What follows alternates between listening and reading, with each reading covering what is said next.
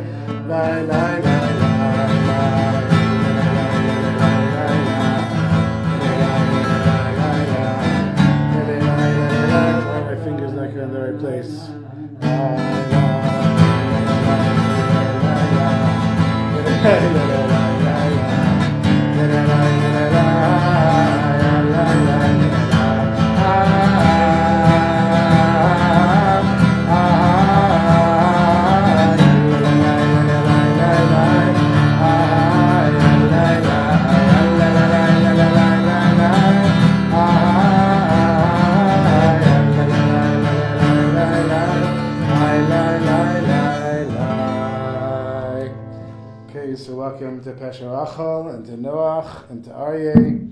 And you see Zahava is watching, and Yael, I'm guessing, will join us soon. Is that the Shem? And of course, my mother watches every week. So, Shalom Aleichem to my mother, who will be watching in the future. There was a guy who has since passed away, but he used to watch the class always like a few days later. And there's Katie, and they'd say, I'm in the future.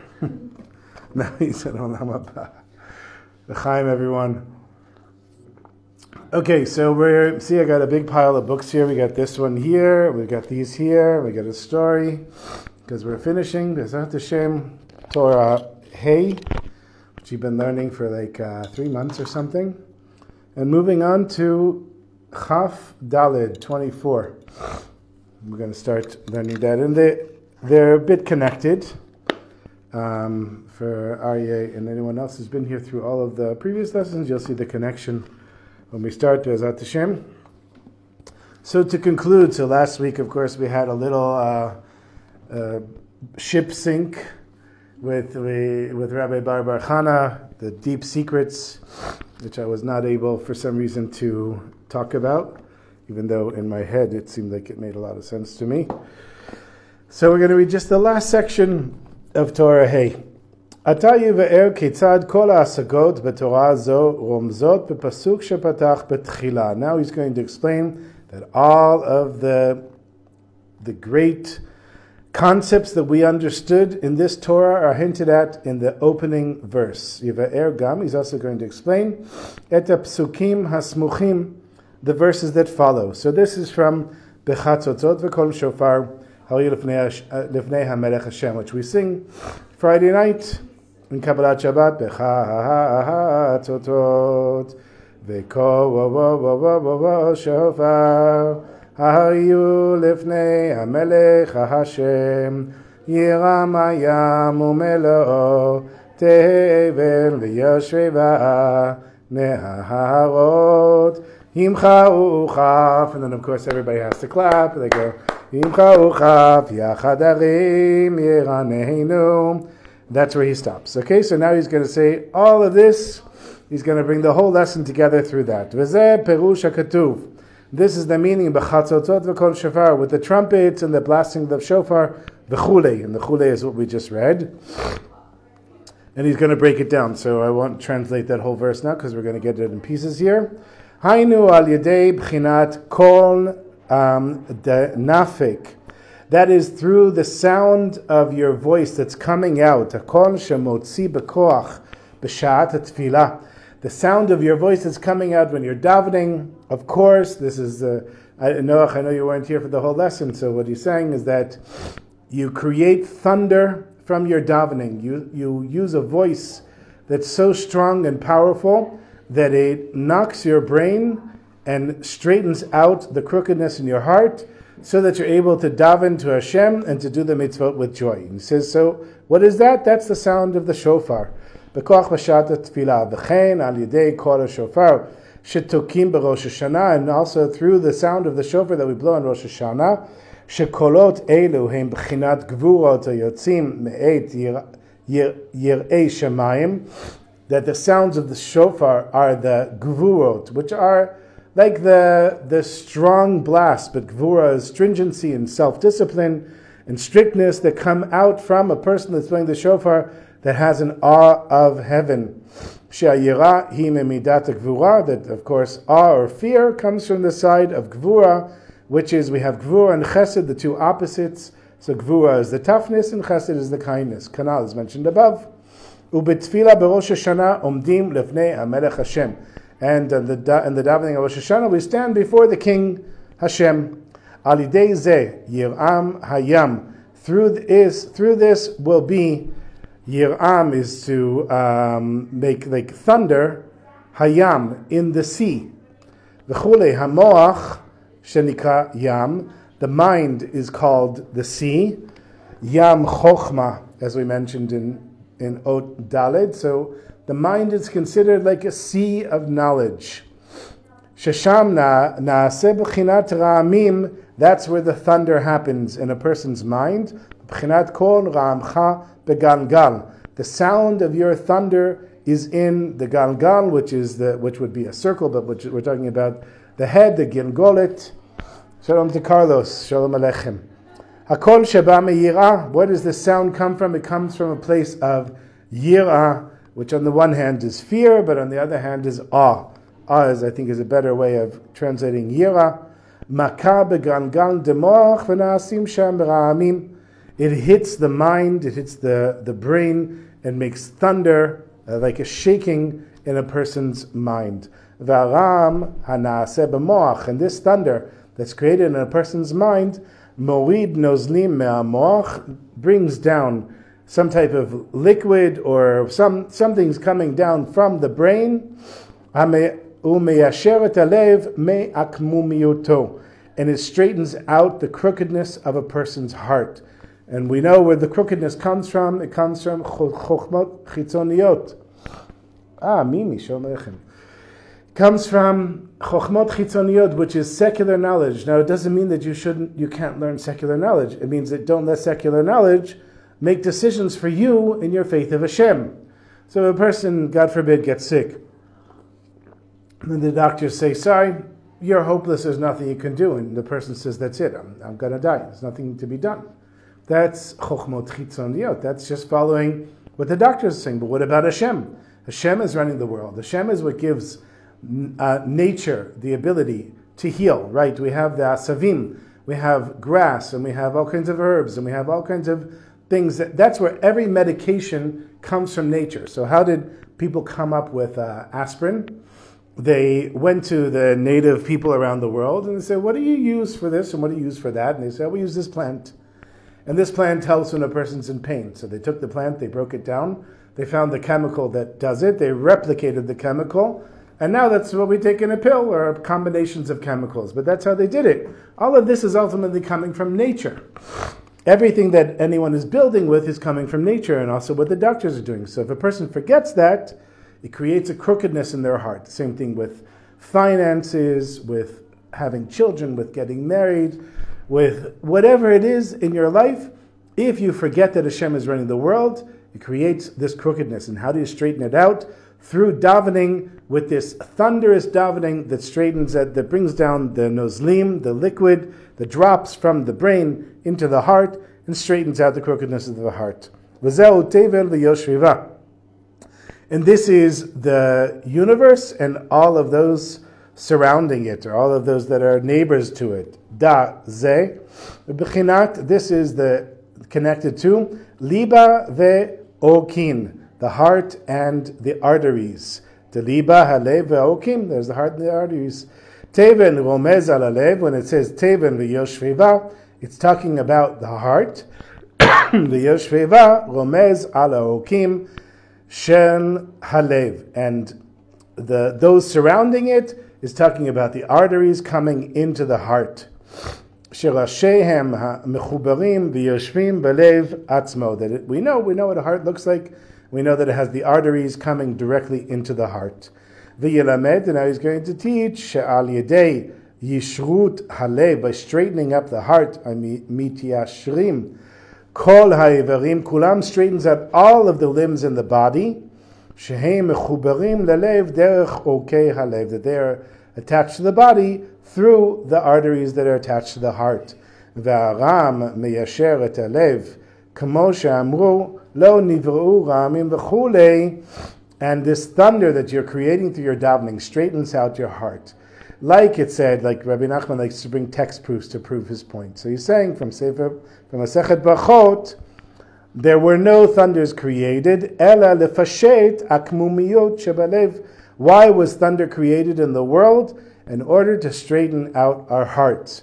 We gave an example way back in the beginning of the lesson. If a person is standing on the street and a Mack truck flies by, and comes this close to them and they didn't realize it, they're like, wow, my life was saved and it's a miracle.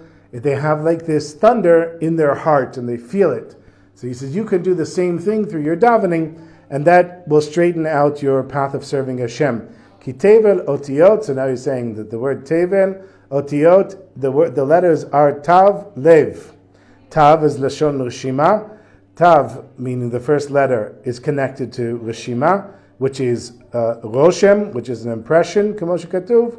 Okay, so now he's going very deep into the, de- in the text proof here that he's saying that the davening is going to straighten out your heart, and that's the reason that thunder was created in the world to kind of wake you up. And through this, the rivers will, will clap their hands.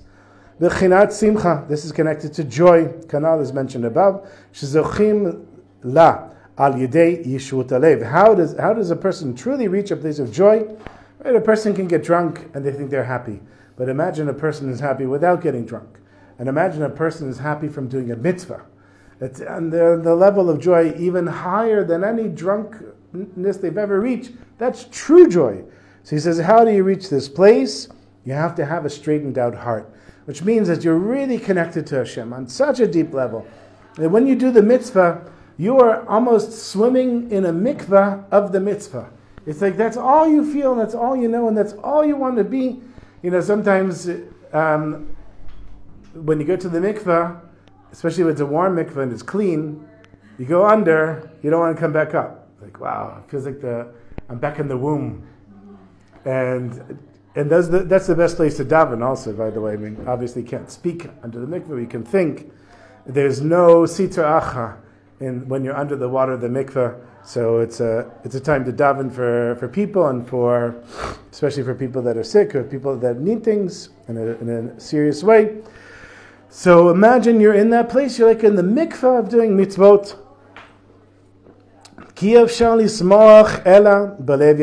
Can't truly be happy unless you have a, straightened out heart. The Ketiv, as it's written, simcha says in Tehillim that those that have a straightened out heart, are simcha or joyous as is mentioned above, a kavana on simchat mitzvah. And of course, we're not just talking about happiness for no reason. We're talking about happiness for doing a mitzvah. La'asot et mitzvot mitzvot kol kach v'simcha. That a person could do the mitzvahs with such great joy. Shelo shum dvar besachran. That a person won't want any reward for doing them. Ela rak but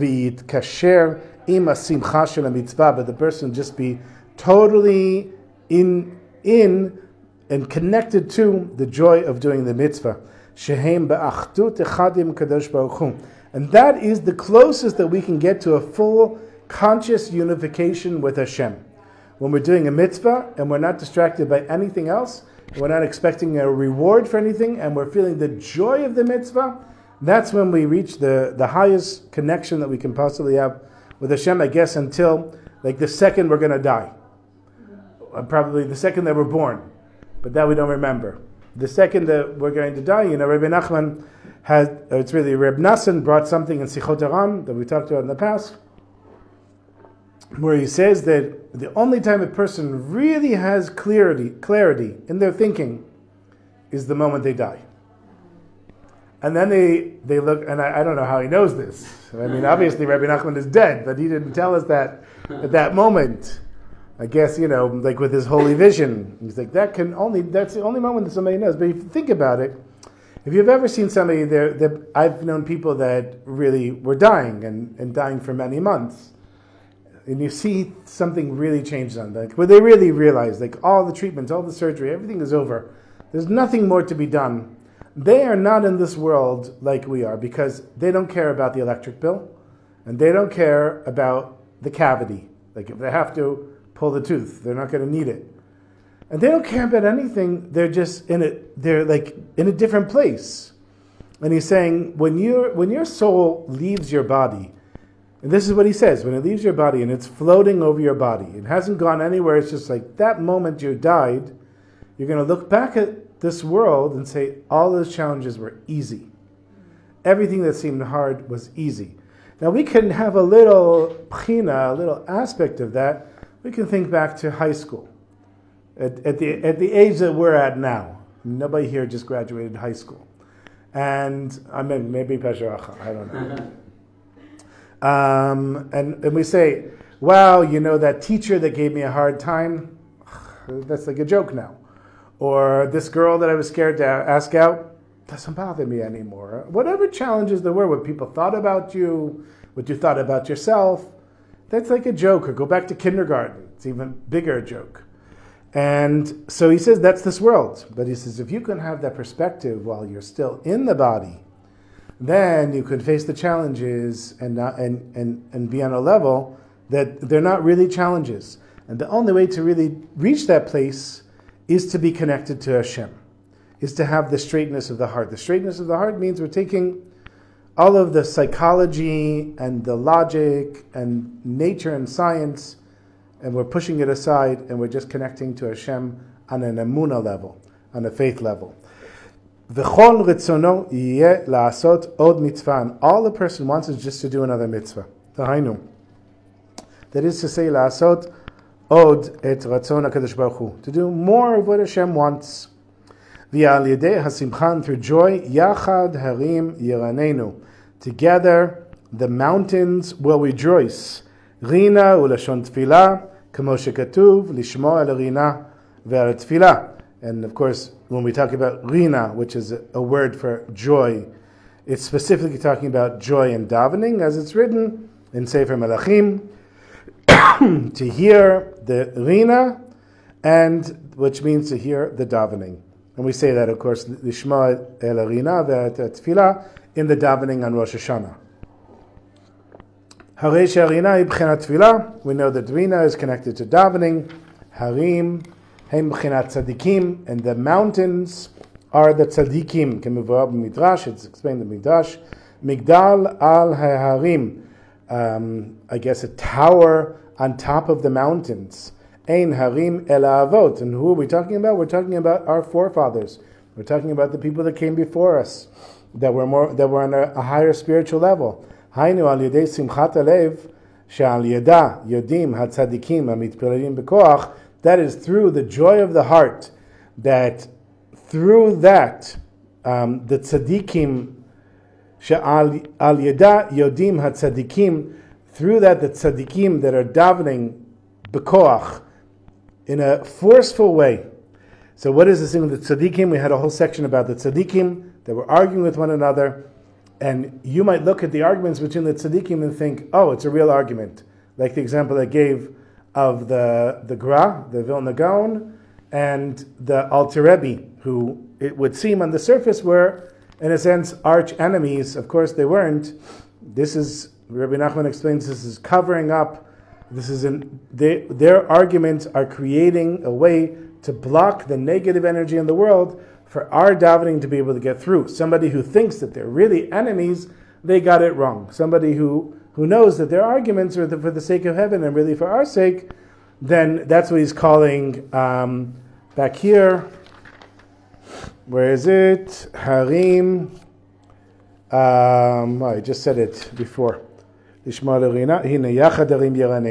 Together, basically, the tzaddikim, Yiranenu, is they're making noise, but they're really rejoicing. They're really creating a way for us to connect with Hashem.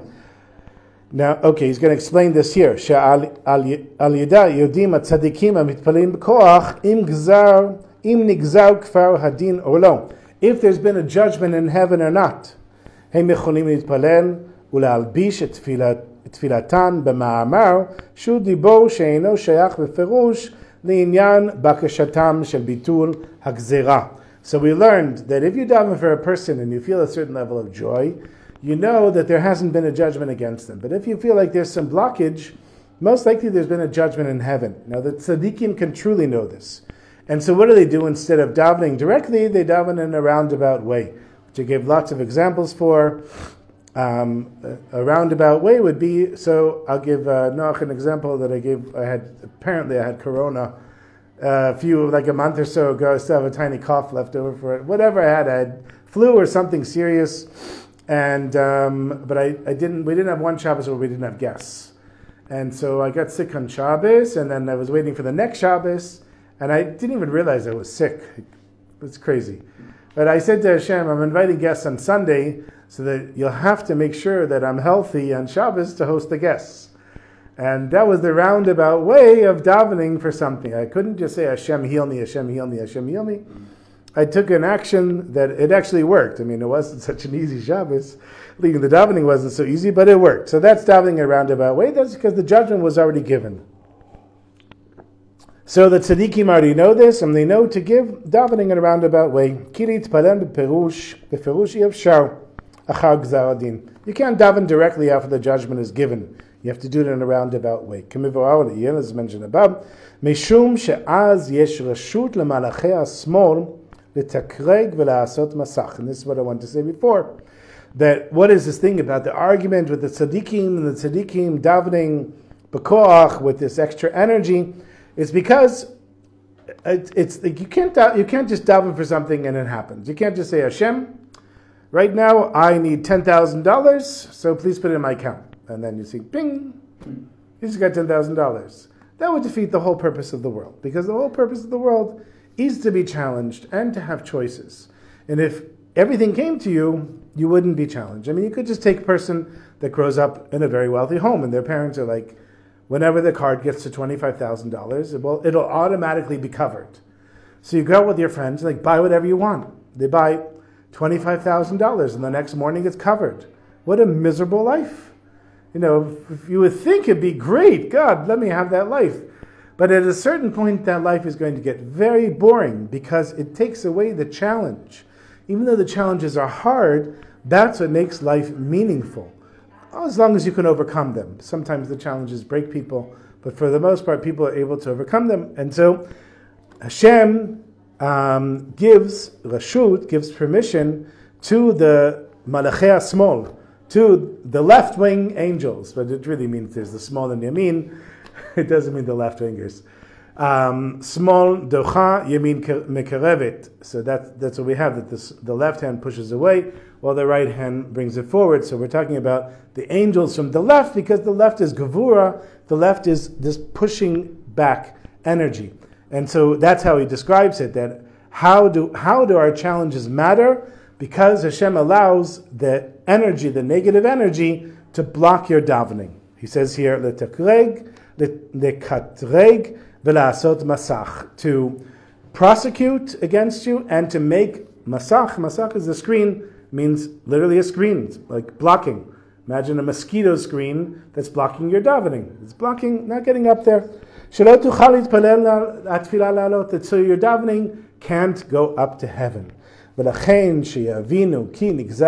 so, when a person understands the judgment has already been passed, so you have to now enclose the davening in a story or an explanation, like what I said. Vezeperush yachad, and this is the meaning of yachad together, shemal bishim, tfilatam, besipurim, yachad. That the, that the tzaddikim are enclothing their davening in stories together. Perush, the meaning is, kiat tefillah, כי התפילה kol haba the sound that comes out from the fear of heaven, the b'chinat gvura that comes from a place of self-discipline, stringency, Ulam ha'ma'amarim v'asipurim hem dvarim ni'imim. Even though when a person tells a story or says a nice little word, it's um, it's a pleasant thing. Shem b'chinat chesed, and that's from the side of chesed, kindness. So we have to bring together the awe and the fear with love.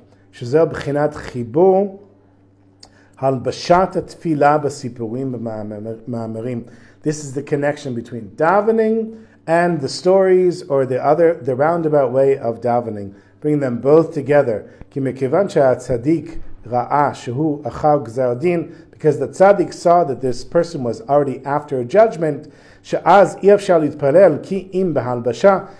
daven in a, direct, in a direct way, but rather in a roundabout way, because of the blockage that Hashem is creating in heaven. You can't just daven from like a really stringent way. Like a person can say, Hashem help me, Hashem help me, Hashem help me, Hashem help me, Hashem help me. It won't help you. Because it's being blocked, you're going to have to daven in a roundabout way.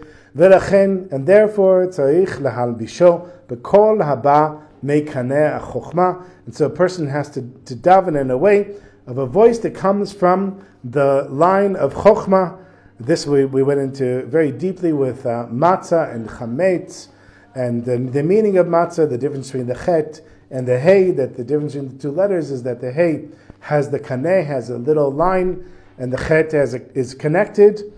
Haba me'amoch mebchinat chasadim, that comes from the, the mind, which is connected to chesed.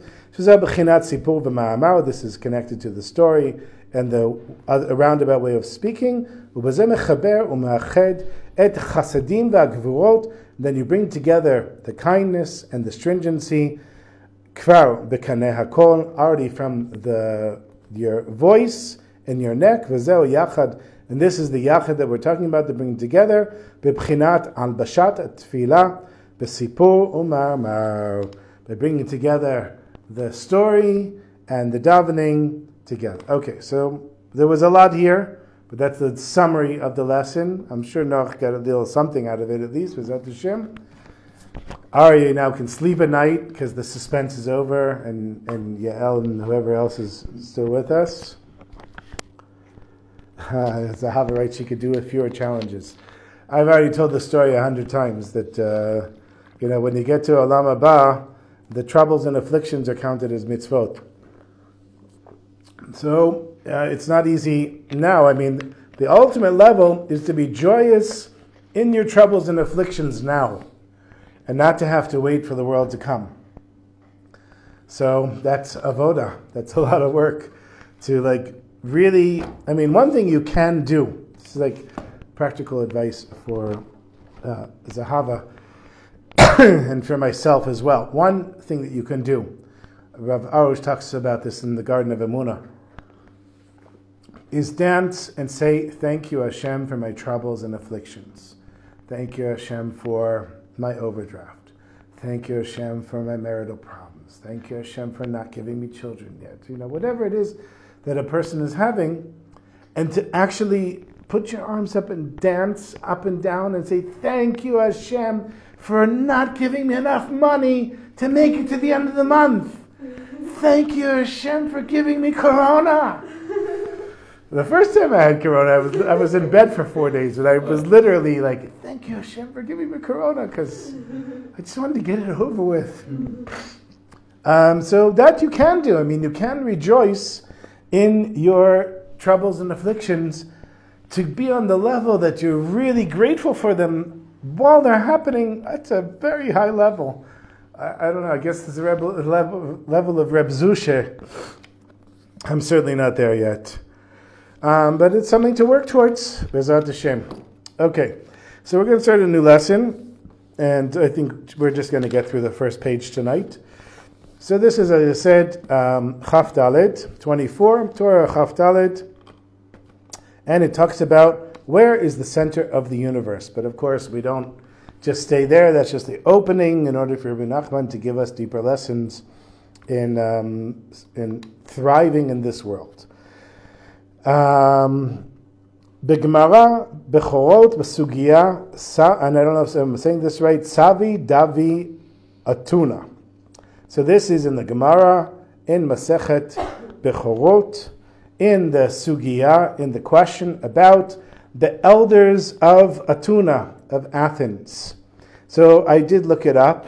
Um, it's from page 8b. And there, the elders of Athens are asking all of these questions like, why do you add salt to water? How long does it take for a snake to gestate? I don't know, crazy questions like that.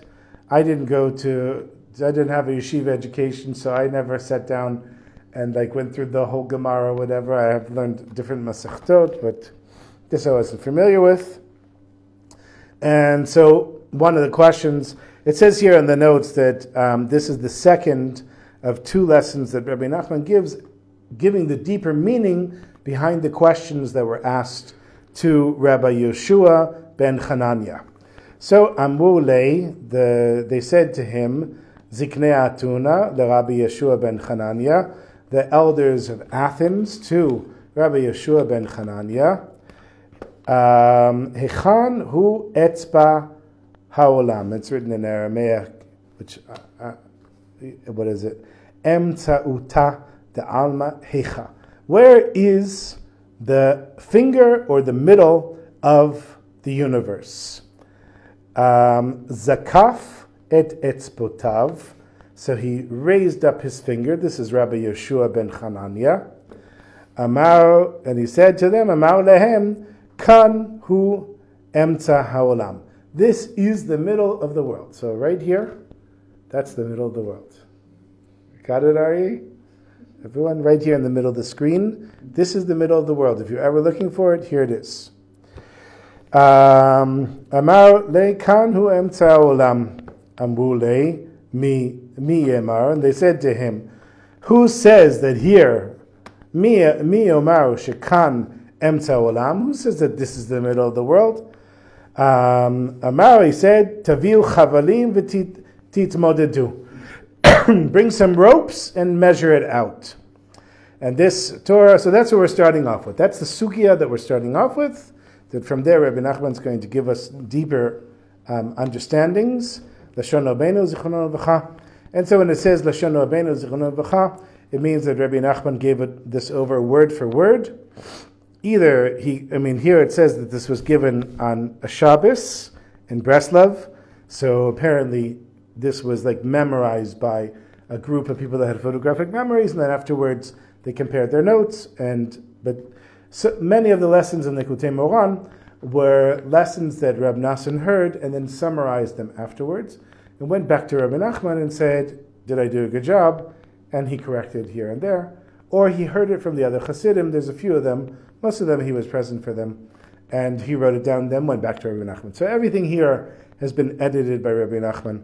Also, by the way, the Lubavitcher Rebbe's, I know at least the last Lubavitcher Rebbe, you know, he had his chozrim, he had these people with um, photographic memories, and afterwards they would all write down the things that the Rebbe said on Shabbos, and then they would compare notes, and then they would bring the notes to the Rebbe, and the Rebbe would make corrections. So that was the method for doing this stuff.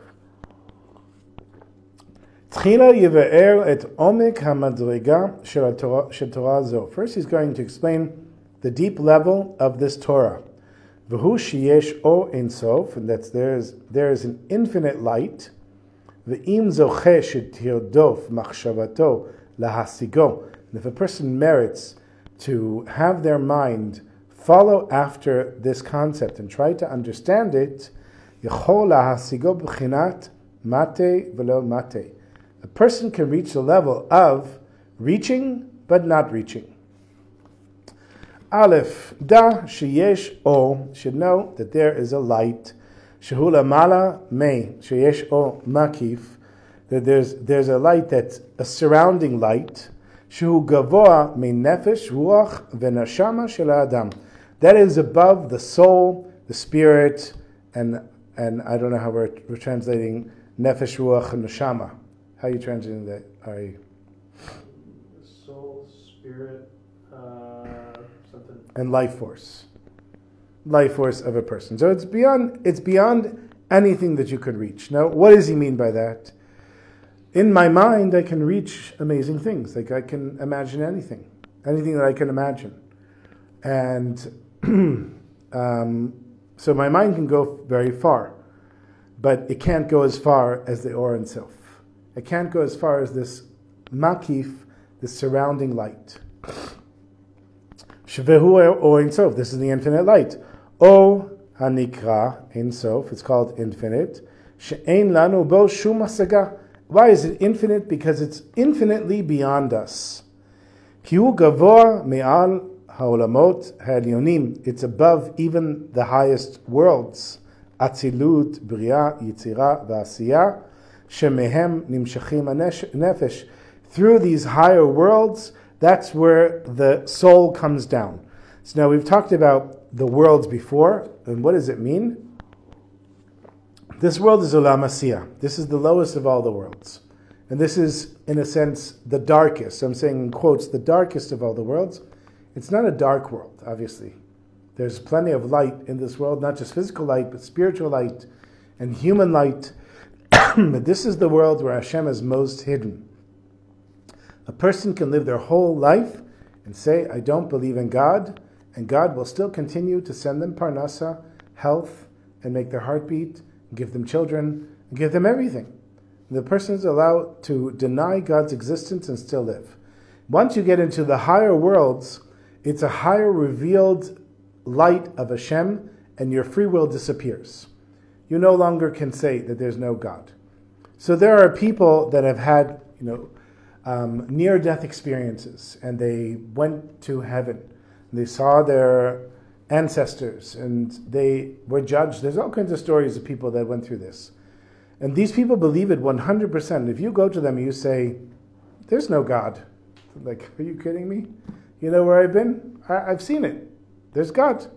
So that's a higher level. Like that, their consciousness is in a sense on a higher level, and in a sense they lost a bit of free will because a person that, like, I remember seeing a video in Hebrew of some guy who had a near death experience and he became Haredi afterwards. And he's like, I saw myself burning in hell. I just want to be the most religious Jew I can possibly be. So that's wonderful that you want to be the most religious Jew you can possibly be, but you're not doing it out of free will. You're doing it out of absolute fear because you saw yourself burning in hell.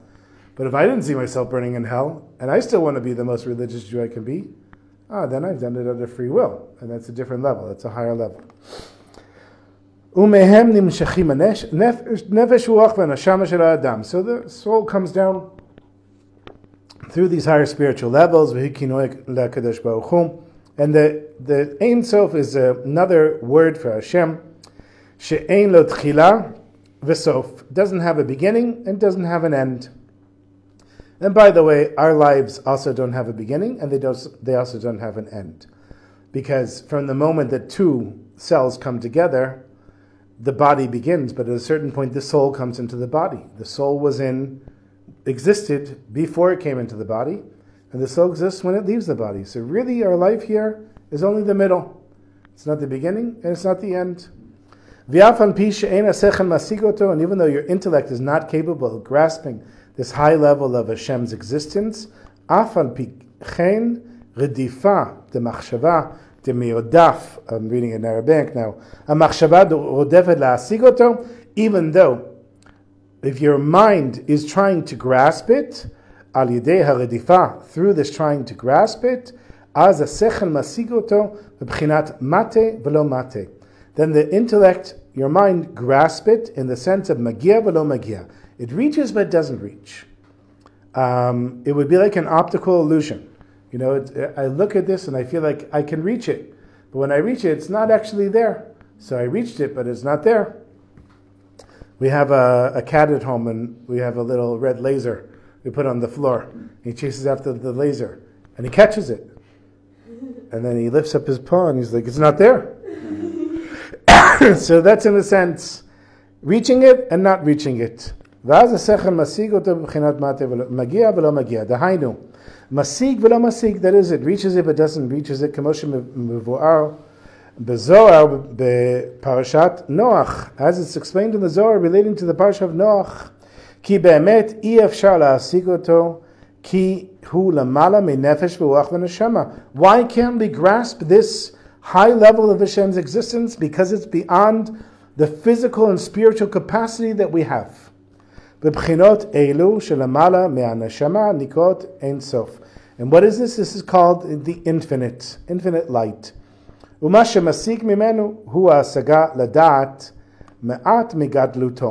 we grasp? We can grasp understanding a tiny bit of Hashem's greatness. And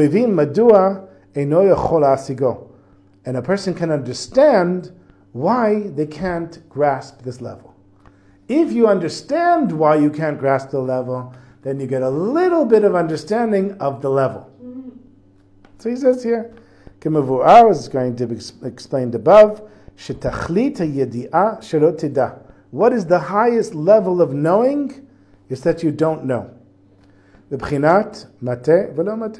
An aspect of, of reaching and not reaching. This is a great and wondrous level of understanding. La'asig velo la'asig ke'achad. To grasp and not to grasp at the same time. V'zeh po'en kedusha ba'adam. And this activates holiness within a person. So he has a, a little piece here on Amuna. I'm going to read this quickly, tell the story, and then we're done. Okay, it's written in Likutei Halachot. Ikarhu ha'amuna. The main thing is Amuna, trust and belief in Hashem.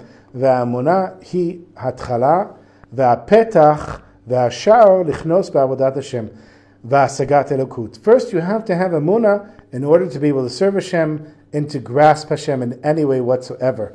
שהיא הסוף התכלית של כל הידיעות וההשגות מבחינת תכלית הידיעה. You know what, I want to read this next week because I don't want to read it so fast. So I'm going to save that for next week and we'll start there next week. But what he's saying is that and the only way that you can get anywhere in service of Hashem is having a Amunah, because there are going to be so many things that you can't understand. Now, I love when I meet um, secular people who tell me, I can't believe in God. Uh, I'm not, a, I'm not an idiot. What do you think? I'm in kindergarten? I'm going to believe in some old man sitting on a cloud with a big white beard? And I said, What, are you making fun of me? making fun of white beards? Don't, don't do that. So I, I asked them, Do you know how the medication you take works? They're like, No. So, so why do you take it? Because I believe that it's going to work. So you believe in medication, but you don't believe in God. This is just a stupid pill. You don't believe in what in the force that's running the whole universe. Can you explain everything that's happening? No, but so how do you know it's going to happen? When you take a, a vaccine, how do you know it's going to help you? I believe in science. What is science? Science is, is really belief in Hashem. The science is saying we know if we take this and we take this, it creates this. We don't know exactly why, but we know it does. So here, have it, and now you're vaccinated. Somewhere down the line, somebody had a level of belief and put it in a package, and then you believed it. So there is belief. It's just that's what Rabbi Nachman calls like there's hiddenness on top of hiddenness. That's why this world is the darkest of all places. It's not that it's dark; it's that Hashem is hidden, and He's hidden on purpose in order for us to find Him. Okay, so this is a really short story. Since we only have like one minute, I think it'll take a minute to tell the story. And I've told the story before. Rabbi Shmuel Abba of Zichlin, um, Purim was like a big holiday for him. He come into the holiday with a great deal of joy. And anyone who didn't treat the day properly and didn't dress in Shabbos clothes to honor the day, he got upset at them. So I always have a costume on, on, Shab, on, on Purim, but I wear my Shabbos clothes underneath the costume. The costume is chitzoniyut, but it's a yom tov, and you have to treat it as a yom tov. In one year, the beis midrash was filled with all of the local Jews. They'd all come to hear the Megillah, and they're all dressed in their best Shabbos clothes, except for one guy who showed up in his weekday clothes. And the Hasidim said to him, What are you doing? The Rebbe makes such a big deal about wearing Shabbos clothes on Purim. And I don't know how you say it in Yiddish, but he says Purim is not a Yom Tov, and uh, fever is not a sickness. I know kadachat is no not iznit machla, whatever, however they say it. I daven a Yiddish speaking shul, but they, they, tell me everything in Hebrew. um, so this guy says Purim is not a Yom Tov, and a fever is not a sickness. And at that moment, Reb Shmuel Abba looks at this guy, and he said, Purim is a Yom Tov, and a fever is a sickness. And when that guy went home that night, he had a little fever. He said, This is where I'm going to lay down. Got a little fever. The next day, the fever got worse and worse and worse. And it kept going for days. And then he sent a message to the tzaddik asking for a bracha. And the tzaddik sent back a message. Now he knows that a fever is really a sickness and that Purim is really a Yom Tov. And he apparently suffered this fever the whole year. Showed up the next year in his best Shabbos clothes and told everybody, now I understand that Purim is a Yom Tov. So with all the craziness, and you know, they put letters around the neighborhood here. Don't have your cars on Nisim Bachar. Don't expect there to be guards blocking your house and on the roads and everything. With all of that, remember that Purim is a Yom Tov. And Bezat Hashem, we should merit to reach the highest places. Wow. So we won't be meeting again until after Purim. So we won't be the same people. It's going to be a life changing experience, Bezat Hashem. So we'll sing the Purim uh,